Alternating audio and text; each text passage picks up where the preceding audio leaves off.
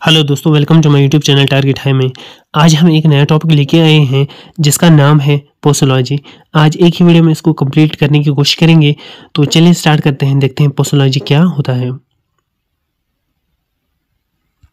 सबसे पहले देखते हैं डेफिनेशन ऑफ़ पोसोलॉजी क्या होता? है तो ये स्टडी ऑफ़ डोज कैलकुलेशन होता है।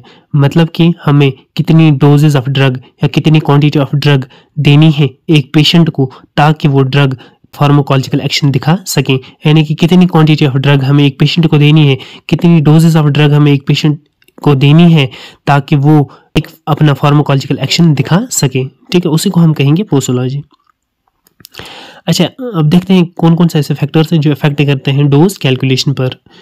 अच्छा इनमें से सबसे पहला है एज जो चाइल्ड और ओल्ड पेशेंट्स होते हैं, उनमें लेस डोज चाहिए होता है कंपेयर एडल्ट डोज क्योंकि जो चाइल्ड और ओल्ड पेशेंट्स होते हैं, वो ड्रग्स को एक्सक्रीट कम कर पाते हैं, इसलिए उनमें हम कम डोज ऑफ़ ड्रग देते हैं कंप्यूटर एडल्ट में। अच्छा और एक बात, और एक बात।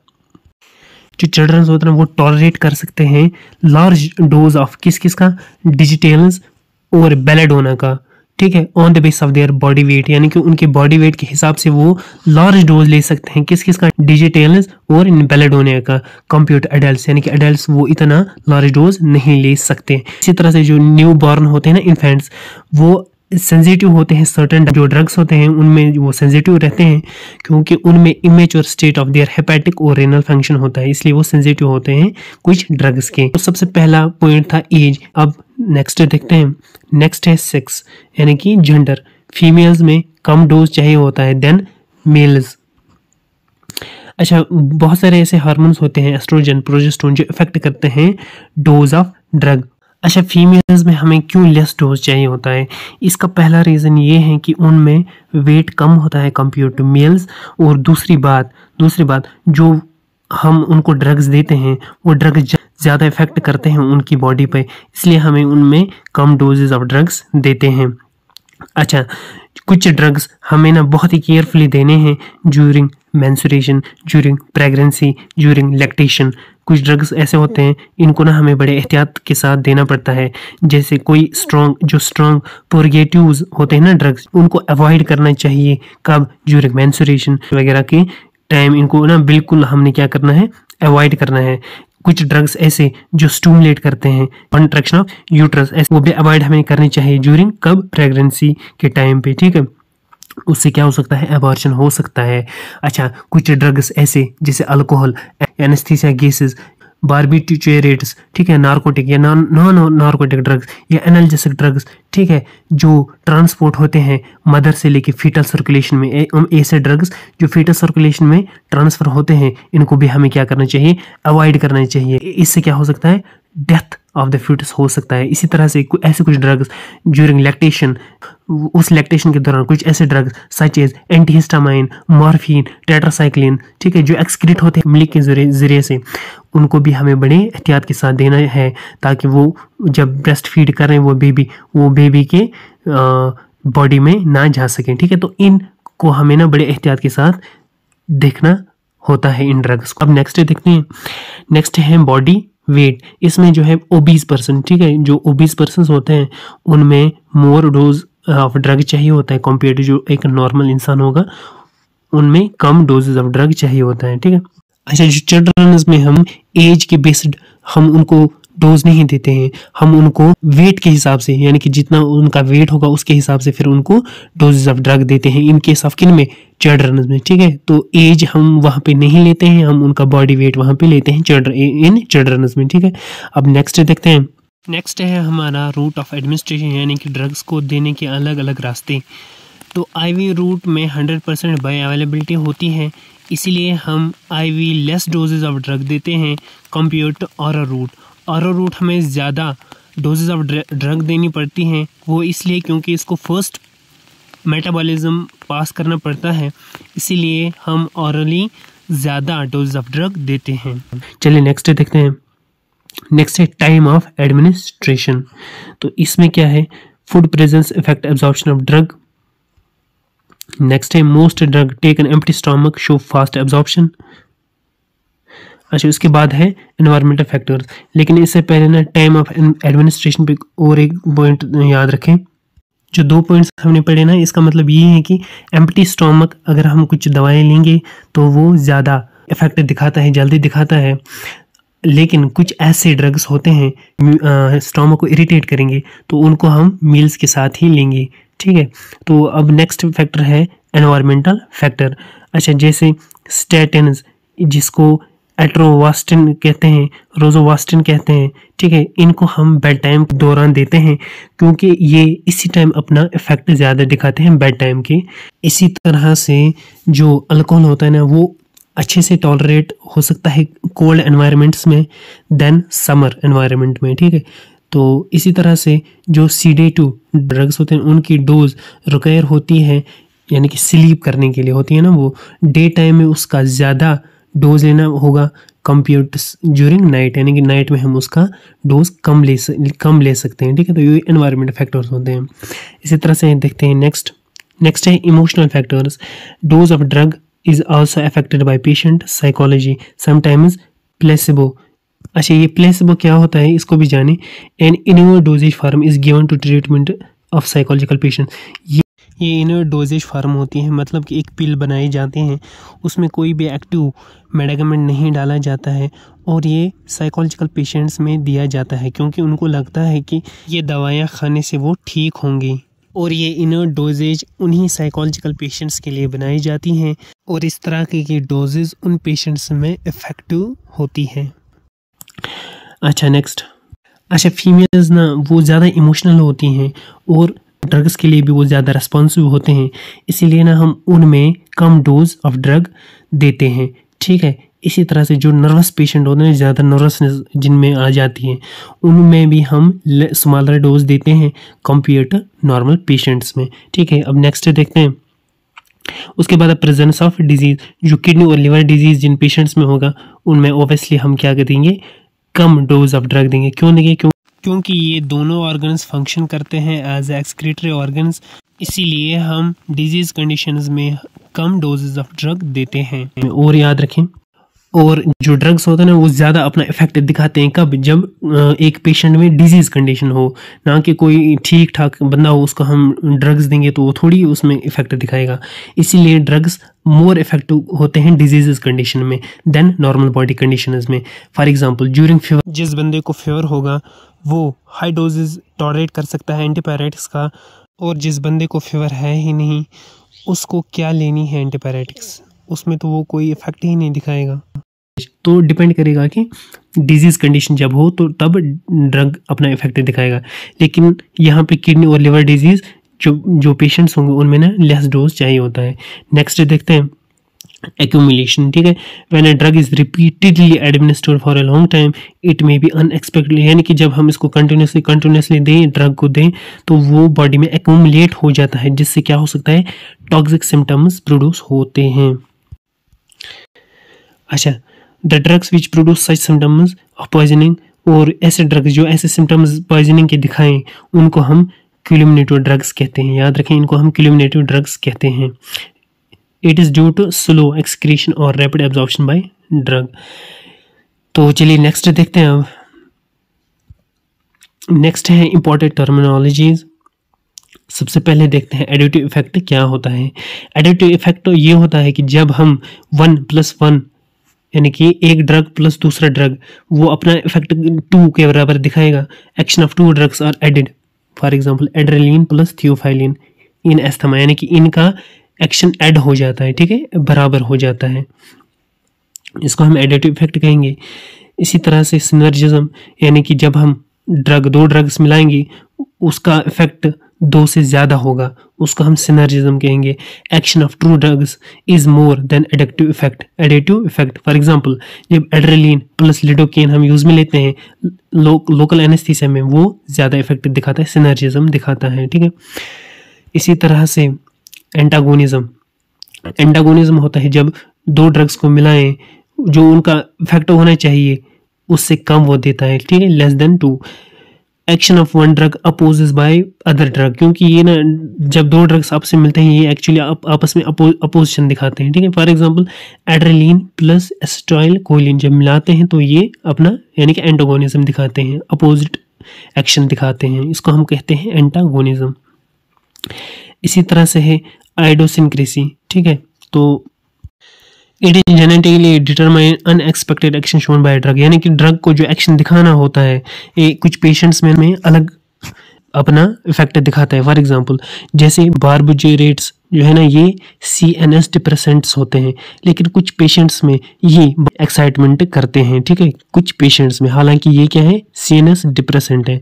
तो यही होता है कि जो अनएक्सपेक्टेड एक्शन दिखाए हमें ड्रग हालाँकि उसका एक्शन कुछ अलग होता है, लेकिन कुछ पेशेंट्स में वो अलग अपना इफ़ेक्ट दिखाता है। इसी को हम कहते हैं आइडोसिनक्रे और एक दो एग्जाम्पल्स याद रखें। जैसे हम कुछ few M G of aspirin किसी को दें तो उसमें ना वो गैस्ट्रिक हिमोरेज करता है। कौन? एस्पिरिन अगर हम थोड़े से फ्यू एम जी देते देंगे ना एस्पिरिन किसी पेशेंट में तो उनमें वो गैस्ट्रिक हिमोरेज करता है। इसी तरह से अगर हम स्मॉल डोज किसका दें? कोई नहीं उनके देना स्मॉल डोजेज तो वो कुछ पेशेंट्स में रिंगिंग कर देता है। ठीक है? तो रिंगिंग जैसी आवाज़ उनके ईयर में हो जाती है। नेक्स्ट देखते हैं। नेक्स्ट है tolerance means decrease in drug response of drugs. For example continued use of alcohol develop tolerance. समझते हैं? मतलब जब ड्रग्स फेल हो जाए अपना थेरेपेटिक इफ़ेक्ट दिखाने में नॉर्मल डोजेस पर और हमें लार्ज डोजेस ऑफ़ ड्रग चाहिए होता है। मतलब कि ड्रग्स नॉर्मल डोजेस पर अपना एक्शन नहीं दिखाते हैं। नॉर्मल एक्शन दिखाने के लिए लार्ज डोज ऑफ़ ड्रग चाहिए होता है। फॉर एग्जांपल हमने पैरास्टमॉल 500 हंड्रेड एम दिया, वो अपने थेरेपेटिक इफ़ेक्ट क्या दिखाना चाहिए? यानी कि उसमें फीवर कम होना चाहिए। अब ऑर्डिनरी डोज पे वो अपना इफ़ेक्ट नहीं दिखाता, अपना थेरेपेटिक इफ़ेक्ट नहीं दिखाता है। उसके लिए हमें लार्ज डोज चाहिए सिक्स सिक्स फिफ्टी एम चाहिए फॉर एग्जांपल तो उसी को हम क्या कहेंगे? टॉलरेंस यानी कि when a drug administered in its ordinary dose fails to produce the normal therapeutic effect and requires large dose of drug to produce the normal effect यानी कि हमें ज़्यादा डोज चाहिए होता है उस इफ़ेक्ट को बराबर करने के लिए। उसी को हम कहेंगे टॉलरेंस ठीक है? अच्छा इसके एग्जांपल्स भी देखें, जो समोकर्स होते हैं ना, वो टॉलरेट करते हैं निकोटीन को, ठीक है? और जो अल्कोहलिक्स होते हैं ना, वो टॉलरेट कर सकते हैं लार्ज डोजेज ऑफ़ अल्कोहल अच्छा जो खरगोश होते हैं ना रैबिट्स वो भी टॉलरेट कर सकते हैं लार्ज डोज ऑफ़ एट्रोपिन जो एट्रोपिन ड्रग होता है ना, उसका लार्ज डोज वो क्या कर सकते हैं टॉलरेट कर सकते हैं। अच्छा ये इसलिए होता है क्योंकि उनमें ना क्विक डिस्ट्रक्शन ऑफ़ ड्रग हो जाता है, एक एंजाइम से जिसको हम कहते हैं एट्रोपिन स्ट्रेस ये उनके ब्लड में प्रेजेंट होता है, एक एक एंजाइम जिसको एट्रोपिन स्ट्रेस कहते हैं। इसीलिए वो लार्ज डोज ऑफ़ एट्रोपिन भी टॉलरेट कर सकते हैं रैबिट्स ठीक है? चलो नेक्स्ट देखते हैं।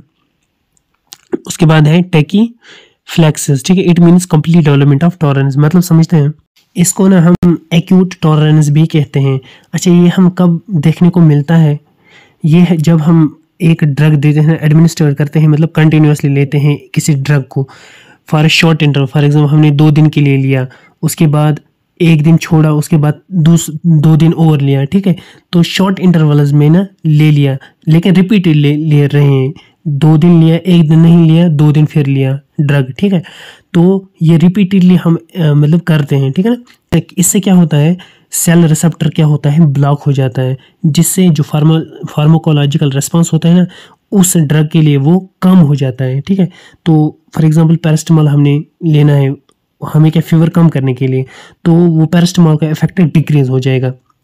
अच्छा फिर हम, जब इंक्रीज़ करेंगे डोज डोज हम फिर से इंक्रीज़ करेंगे, ताकि हमें थेरेपेटिक इफ़ेक्ट मिल सके। लेकिन हमें ना, फिर भी फ़र्क नहीं होगा, ठीक है? क्योंकि वहाँ पे सेर रिसेप्टर ही ब्लॉक है। अब हम इसको क्या कर सकते हैं? अब इस ड्रग को हमने ना लॉन्गर टाइम के लिए क्या करना है? स्टॉप यानी कि हमें वो ड्रग फिर नहीं लेनी है फॉर लॉन्गर टाइम फिर क्या हो सकता है? ये रिवर्स हो सकता है। इसी को हम कहते हैं टेकिफाइसिस ठीक है? तो इसको हम कहते हैं एक्यूट टॉलरेंस भी।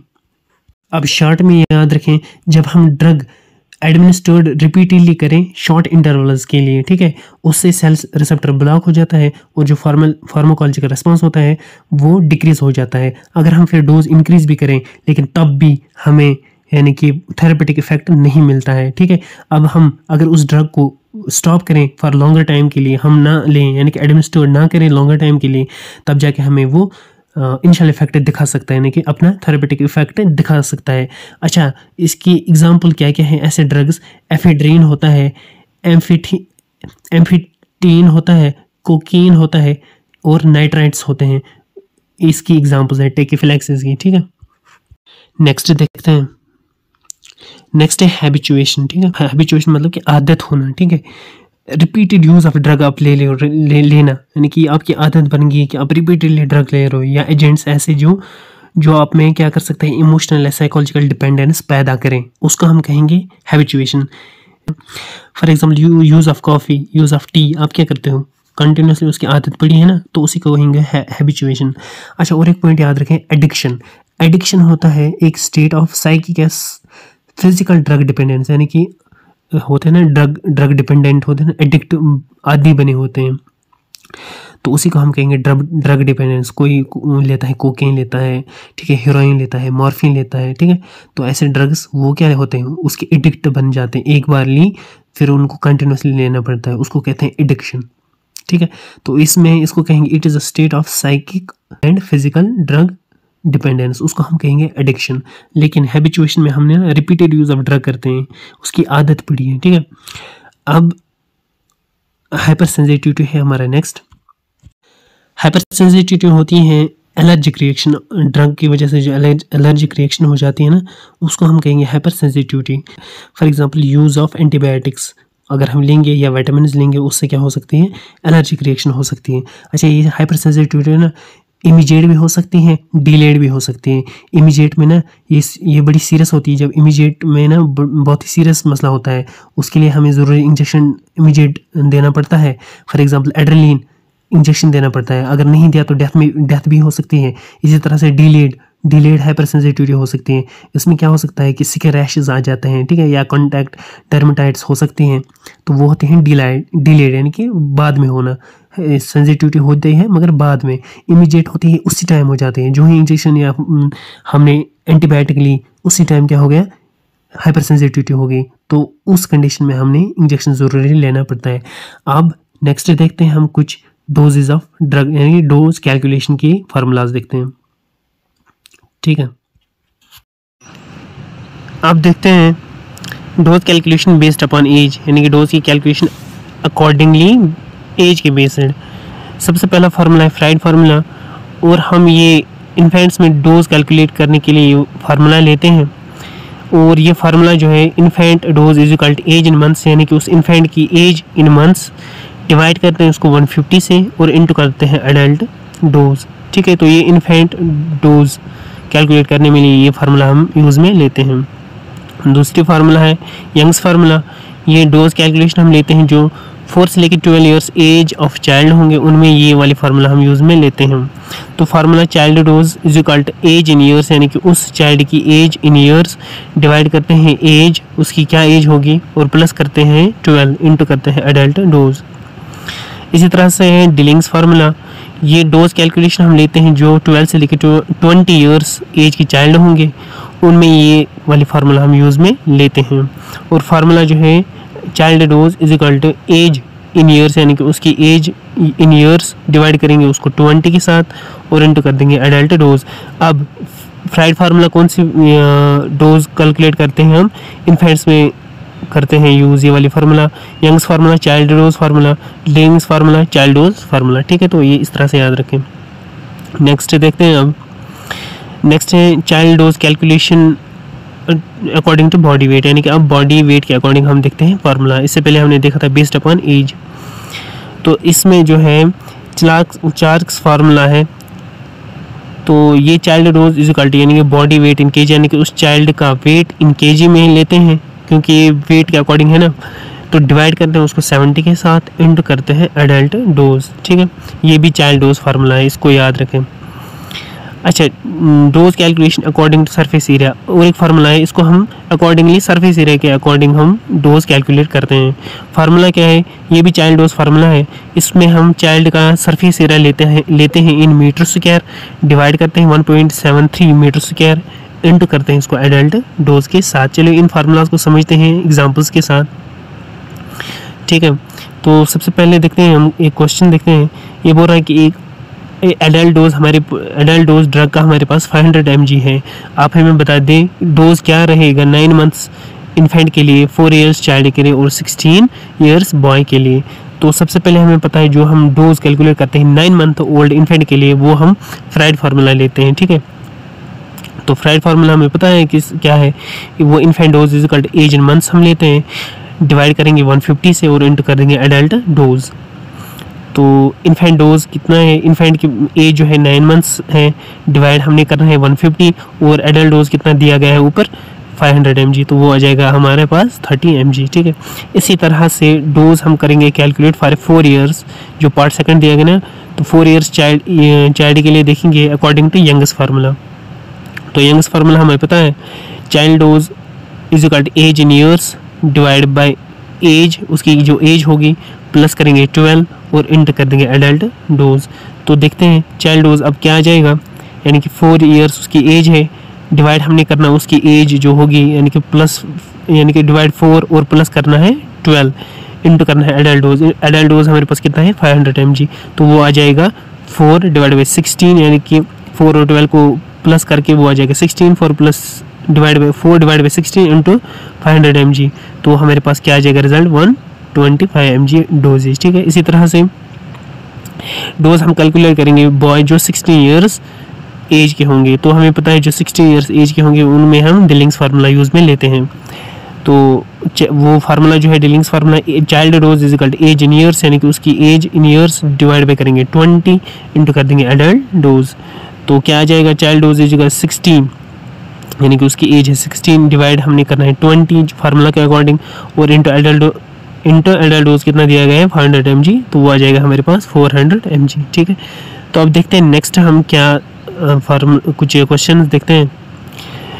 क्वेश्चन बोल रहा है कि चाइल्ड डोज आप कैलकुलेट करें यंग्स और डीलिंग्स फार्मूला के अकॉर्डिंग और हमें बताएँ वो किसके बराबर होगा? वो एट ईयर्स ओल्ड के बराबर होगा ट्वेल्व ईयर्स ओल्ड के बराबर होगा सिक्सटीन ईयर्स ओल्ड के बराबर होगा, या ट्वेंटी ईयर्स ओल्ड के यानी कि हमने यंग्स और डीलिंग्स फार्मूला दोनों मिला के जो फार्मूला बनेगी, वो कौन से ईयर्स ऑफ़ एज के हमें यहाँ पे रिज़ल्ट आ जाएगा, ठीक है? तो इसका आंसर आ जाएगा एट ए पार्ट ठीक है? देखते हैं कैसे। तो हमें पता है Young's formula child dose calculation के लिए। चाइल्ड डोज हम लेते हैं एज इन ईयर्स उसकी एज इन ईयर्स डिवाइड करेंगे एज प्लस करेंगे ट्वेल्व इंटू कर देंगे एडल्ट डोज ठीक है? तो इसी तरह से हमें डिलिंग्स फार्मूला भी पता है डोज कैलकुलेशन के लिए। Child dose is equal to age in years divide by twenty into adult dose तो ये हमें पता है डिलिंग्स फार्मूला ठीक है? अब देखो, इसको समझते हैं। जब हम इनको, इन वैल्यूज़ को पुट करेंगे तो हमें ना सेम रिज़ल्ट आना चाहिए, ठीक है? कैसे आ जाएगा? देखें, हमें पता है सबसे पहले यंग्स फार्मूला क्या था? एज इन ईयर्स तो एज इन ईयर्स क्या है? हमने आंसर दिया एट ईयर्स तो एट हमने यहाँ पे लिया एट डिवाइडेड बाय एज यानी कि अकॉर्डिंग टू हम क्या करें यंग्स फार्मूला इस टाइम तो डिवाइड बाय एट प्लस आ जाएगा ट्वेल्व इंटू आ जाएगा एल डोज तो वो वो किसके बराबर आ जाएगा? Eight divide by eight plus twelve को करेंगे, कितना आ जाएगा? Divide by twenty into adult dose आ गया ना, इसी तरह से जब हम लेंगे डीलिंग्स फार्मूला तो डीलिंग्स फार्मूला वही आ जाएगा ना तो एज इन ईयर्स क्या है? हम एट ईयर लेंगे, यहाँ पे ए पार्ट जो हमने आंसर दिया डिवाइड बाई क्या आ जाएगा? ट्वेंटी वहाँ भी ऊपर ऊपर भी देखें इंटू एडल डोज तो सेम फार्मूला आ गया ना दोनों में तो इसका राइट आंसर क्या आ जाएगा? ए पार्ट यानी कि दोनों में सेम कौन सा ईयर आ जाएगा? एट ईयर यानी कि ए पार्ट आ जाएगा। आया समझ?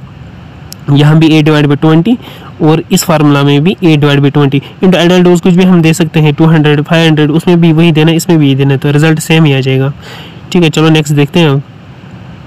नेक्स्ट हम देखते हैं calculate the dose of a child weight thirty pounds अब हम अकॉर्डिंग टू वेट देखते हैं thirty pounds if the adult dose adult dose दिया गया है टू हंड्रेड एम जी और वेट दिया गया है थर्टी पाउंड्स और हमें पता है अच्छा आंसर ये बता रहा है कि क्या है सिक्सटी सिक्सटी एम जी है फिफ्टी एम जी है फोर्टी एम है थर्टी एम है इसका राइट आंसर तो इसका राइट आंसर आ जाएगा सी पाँच चलो देखते हैं कैसे.